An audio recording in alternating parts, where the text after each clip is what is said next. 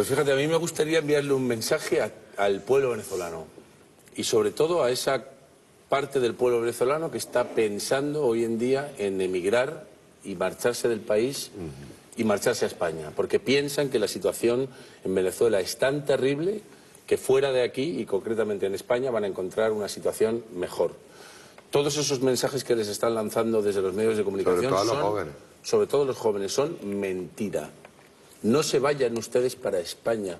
Las libertades de las que están disfrutando en este país, de todo tipo, sociales, políticas, laborales, económicas, culturales, de todas las libertades que están disfrutando en este país y que se están incrementando día a día, son una utopía en nuestro país, una absoluta utopía. Si ustedes se marchan de este país para España, van a, tienen que tener muy claro que van a someterse a un sistema esclavista de capitalismo salvaje donde todos los derechos están siendo cercenados día tras día. La educación pública, la salud pública, eh, la cultura, eh, los derechos laborales, los derechos sociales, los derechos políticos.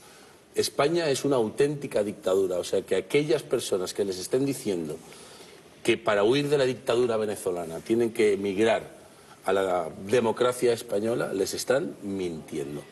No se vayan para allá y conozco ejemplos, conocemos Agustín y yo ejemplos, decenas de ejemplos de ciudadanas venezolanas que se han ido a España teniendo una situación y una posición económica bastante holgada en este país y están trabajando 12, 14 y 16 horas al día de pinches de cocina, trabajando por 600, 700 euros al mes, que aquí puede parecer mucho, pero para que nos hagamos una idea, una, una habitación en un apartamento compartido puede alcanzar hasta los 400 y los 500 euros cuando el sueldo es de 600, 700 más pagar la luz, el agua, el teléfono, la gasolina, todo por lo que tú te mueves en España, tú das un paso en la calle y tienes que estar pagando.